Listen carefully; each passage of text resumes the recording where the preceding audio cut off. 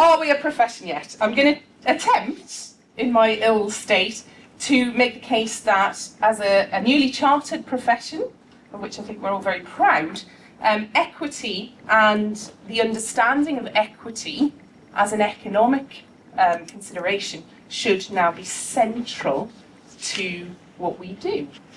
Um, and let's see whether I'm able to do that. Um, I'd always like to start talks like this with a couple of facts because I think it kind of puts things into perspective. Um, in 1862, Emily Davies petitioned Cambridge for equal access to higher education. Would anyone like to guess the date at which that was finally achieved? 1970. Oh, good one. No. anyone? It hasn't been. It has actually, which is quite surprising. Any further? No? Was 1995.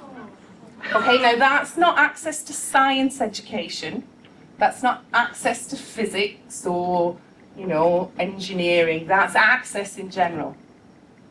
Okay, so it took, you can do the maths, however many years, for that battle to be won. We suffer very distinctly from time lags. Okay? So we don't just have an idea and it occurs, it takes time. I'd like you to make another guess. In 1998, there were blank female archaeology professors in Britain. Go on, have a go. One. One, two, Two! Yes, it was two. Well done. Sarah Champion's work uh, draws that out. So I think it's important to just sort of think about this. I think a lot of young women in particular think that the battle has been fought, as Sarah mentioned, and actually, sadly, I'm here to tell you it hasn't, and you all need to get in line and keep fighting. Um, this is a chart of the proportion of female professors in the UK, national situation. In 2007, when I started working with Anne, um, we were at 9%. It's now 22%, which is a bloody good leap. We're getting there, it's coming. But it's still, you know, a bit away from that line, isn't it? Let's be honest.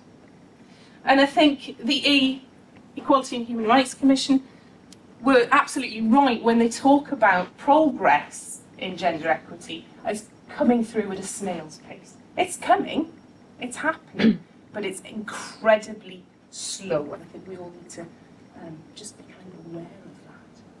So in 2008, when I started um, working on this research and this sort of stuff, the IFA had put together three separate surveys looking, starting to look at gender issues in the, in the profession. And they found a, a few things that the, the gender balance was still in favour of males at that point. Males, I'm sorry, I don't really like female and male anymore, but I do, is still in this talk. Um, average salary lower than a male salary, and more women were working in part-time posts. And the most shocking thing I think that the IFA found at that point was that women were leaving the profession in their 30s, so they were going through education and training and learning all about archaeology and how they could fit into it, spending lots of money, you know, lots of time, um, and then they would leave. And this was the situation. We had 50-50 in education. In the profession, it was still male-dominated, and we had this tiny little proportion at the top of um, predominantly male-dominated profession. So in 2008, we set up, there's a, a member back there, the BWA, British Women Archaeologists. And we tried to do lots of things with no funding. Um, we, these were our sort of key things, really, that we were wanting to raise consciousness about the fact that there were issues um, surrounding being a woman in archaeology. That, you know, I think the IFA, when we started asking questions about why women were leaving, the, the response was, well, women choose to leave because they, they want to have children. and I was pregnant in 2008, and that just really didn't make sense to me. Um, so we started to, you know, ask questions about why are women leaving? You know, you don't leave your profession of choice very lightly. Well, um, and I think that's probably what we've discovered. So we were looking at consciousness raising, support and advice, so network, and that's still what our main role is really, providing a sort of network for folk to talk. Um, national role models, which actually that has now transferred beautifully to the fabulous work of TrowelBlazers, who I'm sure you're all familiar with. They're absolutely awesome and I love them. Still voluntary, you know, so bear that in mind. Um, and research trying to push this into a professional arena, you know, trying to make these issues visible more generally. And you know, looking back now, we were trying to do everything, trying to inform women about maternity rights, you know, for heaven's sake. A few, few women trying to do that in their spare time. I mean, that's shocking. It really is shocking. Um, and we were trying to plug a professional gap. Sadly, we all ran out of spare time. Um, the situation that we're in now, 2012-13, the latest Profiling the Profession document shows that we have now that swell of young women being educated in archaeology are actually entering the field. And that's great news. We're starting to see that glass ceiling, ceiling slowly move up, ever so slowly. Um, the question is whether we can retain these archaeologists as a profession. You know, it's great that they're all entering now. Are we going to be able to retain them? Um, one of the questions too is how representative the profiling the profession documentation is. It's, you know, don't get me wrong, it's absolutely great that we have this data, but the, the response rates are relatively low. You know, we're looking at about 30% on average, which is actually quite low, and I worry, I think, that we're seeing the big units being represented, we're seeing the folk who are actually doing relatively well coming through, and for women, obviously we're asking the survivors, we're asking the women who made it into the profession and who stayed in the profession. We're not talking to the women who left. So we're getting a kind of skewed perspective. All right, so what are the issues? Well, 2008 we thought we'd ask folk. So we got 84 responses, average age about 31, um, 12 years experience on average, predominantly female respondee. Has your sex had a positive or negative influence on your career? Detrimental, heartbreaking. Why?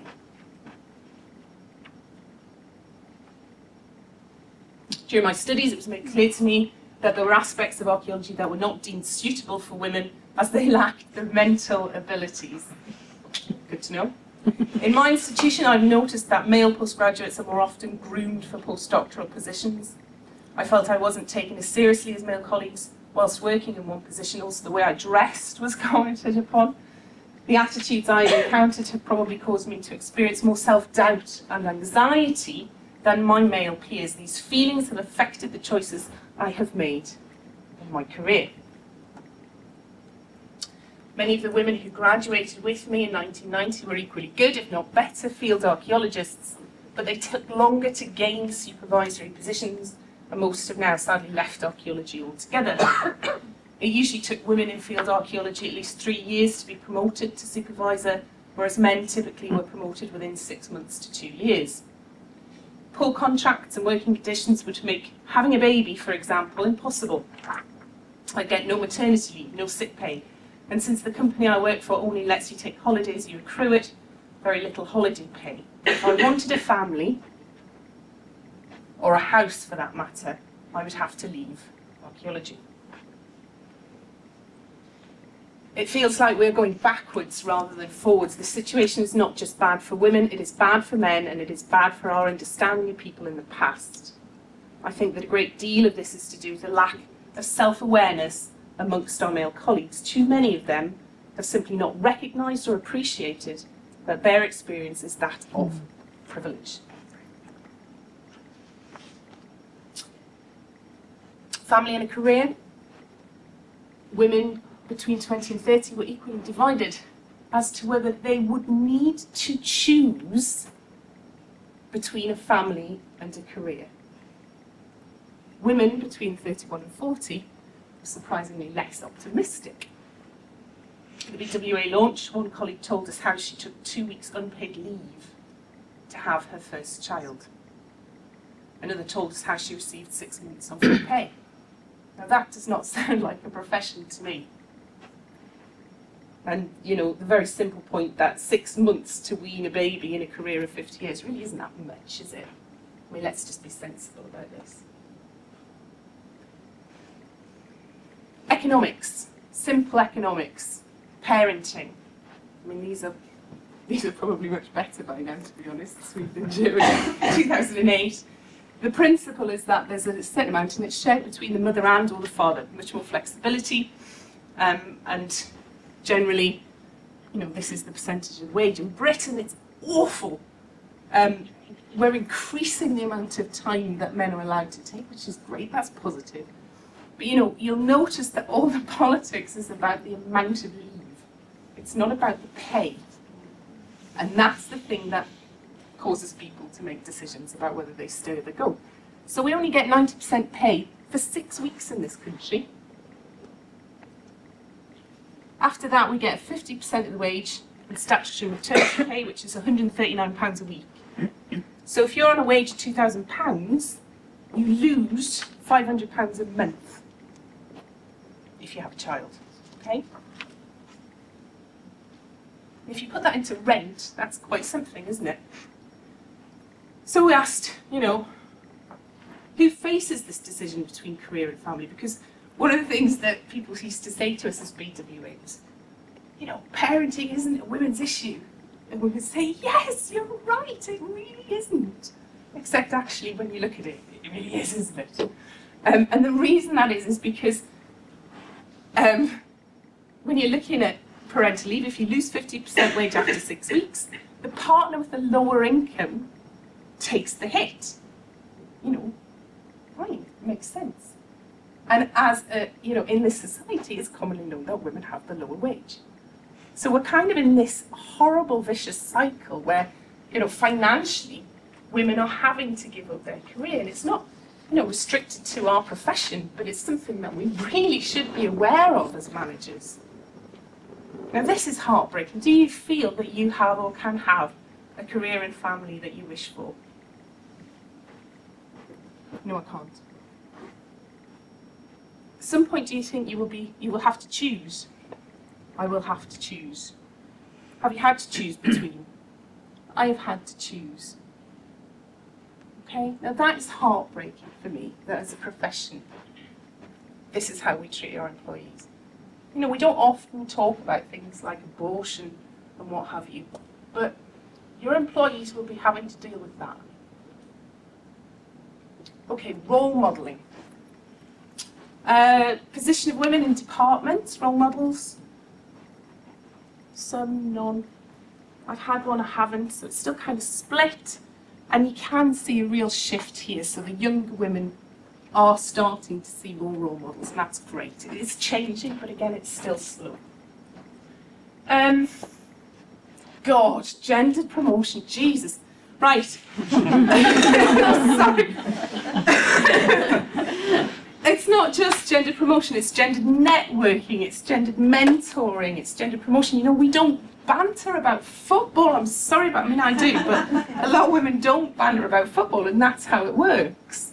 Um, and this is the thing that Sarah mentioned, you know, it was a wake-up call to me when I realised that promotion actually had bugger all to do with performance.